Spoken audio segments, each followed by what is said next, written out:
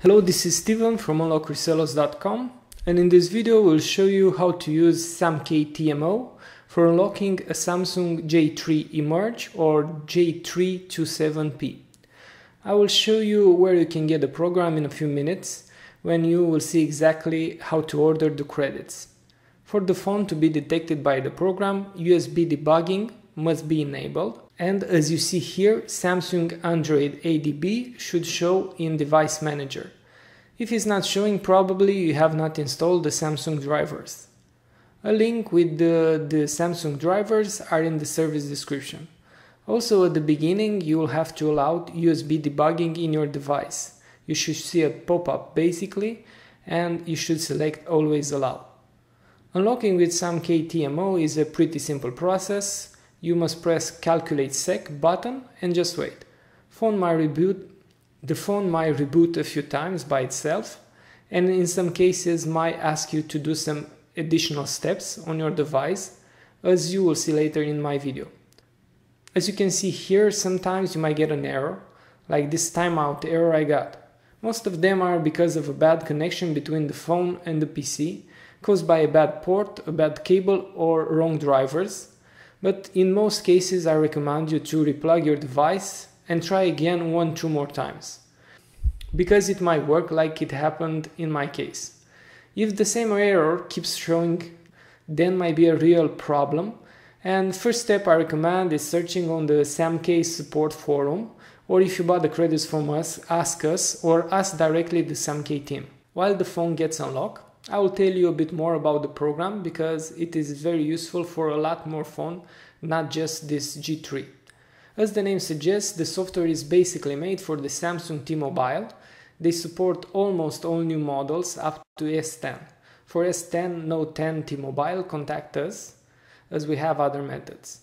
Also, besides T-Mobile, they support other carriers, basically most carrier for which the phone will not ask for code, like Sprint, Verizon, TracFone, and recently some Cricket and AT&T. For Sprint, they recently made a new tool that even support the really new models of Sprint and Boost like S20 or Note 20. For the phone that asks for code, they have a different software called Samkey Code Reader. So they have a total of three different software.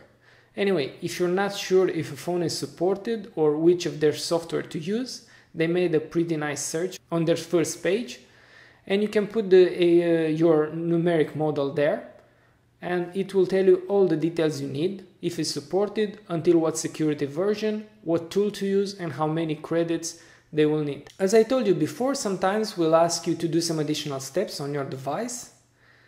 What is good here for Sprint devices is that it also gives you the exact steps and the MSL needed to enable the diagnostic port. You can see the COM port showing in device manager, so it's safe to press OK. Should not take more uh, from here and you'll see that phone is unlocked. In the end, for the most new models, it will say your phone is unlocked, no need to write sec. For some older devices, the pop-up might be a bit different and might say to write sec, so you'll just have to press that button. Basically, you need to be careful at what the pop-up is showing. Okay, so uh, now to show you how to order the credits and download the files needed.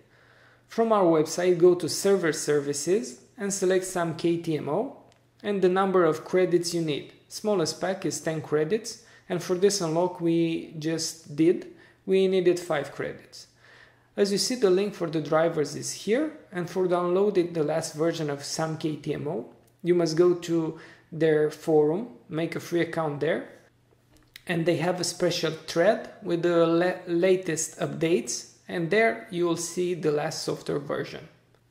Hope you understood a bit more about this useful unlock tool from my video. And to get the credits for this software and many other great unlock tools, please make an account on unlockresellers.com.